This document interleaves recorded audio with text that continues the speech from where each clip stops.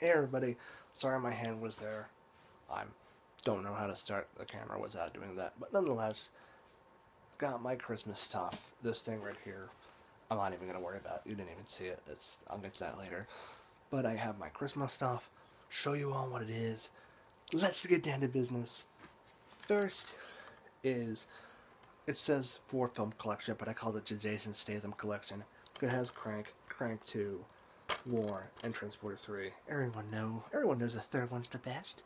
I actually have Grand Theft Auto 5 going on right there, and it's like should be close to be saying, It's been an hour, you should turn off your system. Because it's been sitting, but nonetheless, love Jason Statham. Great ass kicker. That's all I need to say. This one is iRobot, sci-fi collection, sci-fi film. But iRobot, Independence Day, uh, Prometheus, and The Abyss. Um, have not seen Abyss or Prometheus, so this is kind of unique for me. To one's one's mixed, well, both mixed. But one's received a little more with ire because it fucked up so much for like fans. Uh, fan base I'm a part of actually, which I fucking hate the fact that the space jockeys are now big people. anyway.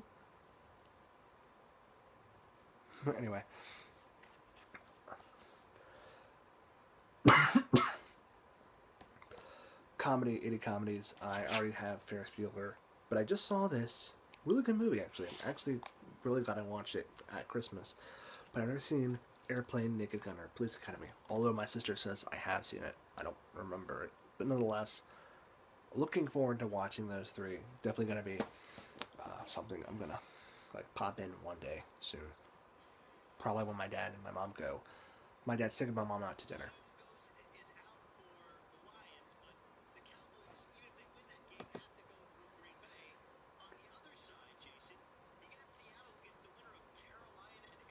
I shut the tab off and okay, my computer had an open tab where it was doing music and shit.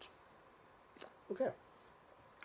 Next, I'm not gonna show you the other two because you've already seen them. It's a uh, Forbidden World and Lost Forbidden Planet and Galaxy of Terror, which you pretty sure you already seen.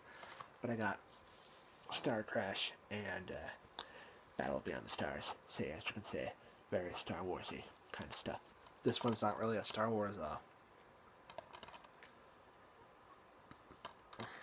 excuse me, this one is not really Star Wars rip-off territory. It's much more than that. It's actually Magnificent Seven in space, but it's really good. I actually watched it. It has amazing production value for a movie of its kind. It's only like two million dollars, and even special features talks about like, oh my god, how much trouble they had. But it's amazing. I mean, oh my god, guys, it looks so good. The opening shot, I was in, I was like, whoa, this looks really good.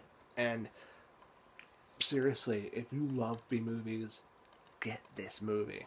And it stars John Saxon.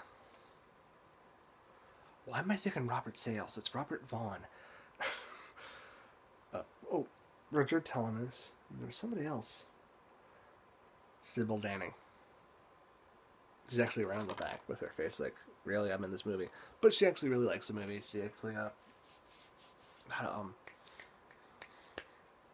interview with uh, John Saxon with another guy, and she was just like, I love it because I used to, when I was in Europe, I used to have to do my makeup outside behind a tree and get dressed there. And she was like, but now that I'm out in America, I have my own trailer.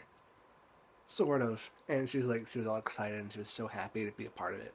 So that's pretty cool. And John Saxon's like, oh, it's just cheesy movie, you know, the fans are great and all that. So I love this movie for that. It also has, I believe, Gale Anne Hurd as the producer, John Sayles as the writer, and James Horner as the composer. Yeah, a lot of really big names, as well as James Cameron as the art director. Yeah, a lot of big names. Um, next, Star Crash, which is the campiest, cheesiest ripoff of Star Wars ever, and I fucking love it. It has a ton of special features.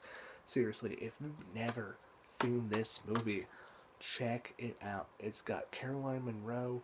Uh, what's how do you pronounce his name again? Marjoe Gortner. He was a television evangelist, but he turned into an actor, and he's amazing. and Judd Hamilton. Judd Hamilton, who was Caroline Munro's husband at the time, voices Elle. He's actually the Vader looking guy, but he's not really Darth Vader. He's actually a droid. So I'm actually really glad about that. Um, two discs, tons of special features. I mean, seriously, this is probably the most special features I've seen on a DVD ever. And I've owned a lot of DVDs, but nonetheless, great movie. But, but, for all you Whovians out there,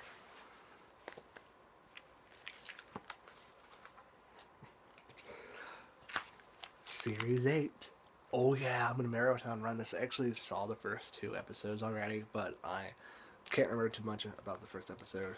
I know there was a dinosaur, but that's about it. And then saw Into the Dalek because I love Dalek stories.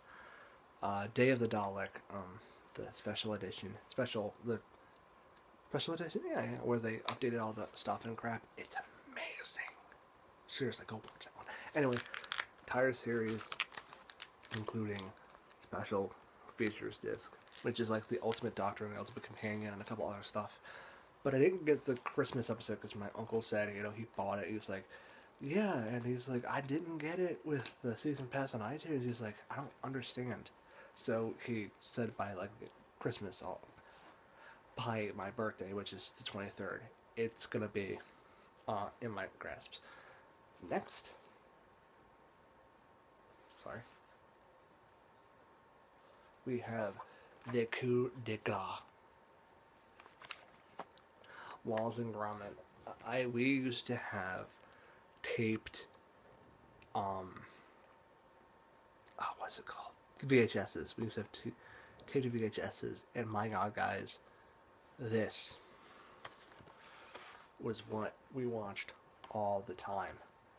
This was the ultimate in DVD in VHS ever. I mean, it was like an hour and a half of the greatest show ever, and my computer just went dark because Norton decided to start.